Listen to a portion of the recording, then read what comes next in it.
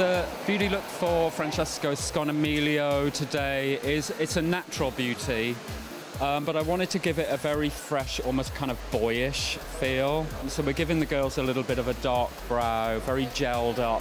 Instead of doing a smoky eye, we're doing a wet gloss on the lid with a little bit of dirty sort of contour underneath and a contour under the cheek. It's all based a little bit on a slight masculinity because Francesco's clothes are extremely feminine. And I think there's a big trend at the moment for almost going a little bit the opposite in beauty. Basically, we have like a really strong woman. She has really flat hair, but in a very wavy, in a way, like in a natural way. This kind of really cloudy, fuzzy hair, and a very shiny and uh, sparkly uh, texture. It's an understatement look, and that's why I think it's interesting because also Francesco Scognamiglio is uh, like always all kind of over the top with the looks.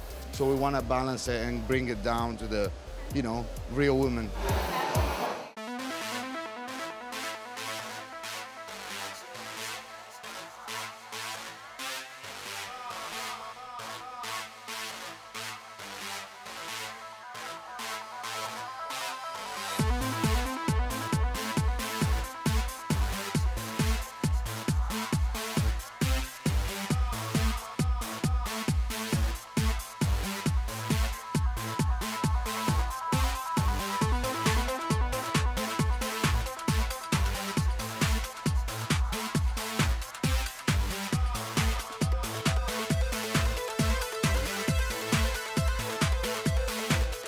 Well, I just start from the idea of the neoclassic uh, period and also about the surrealism time. So as, I, I work with the, uh, all the history of the surrealism and neoplasticism. So for me, the art was a big, big moment to try to, to find the translation and try to work on this new fall winter for myself.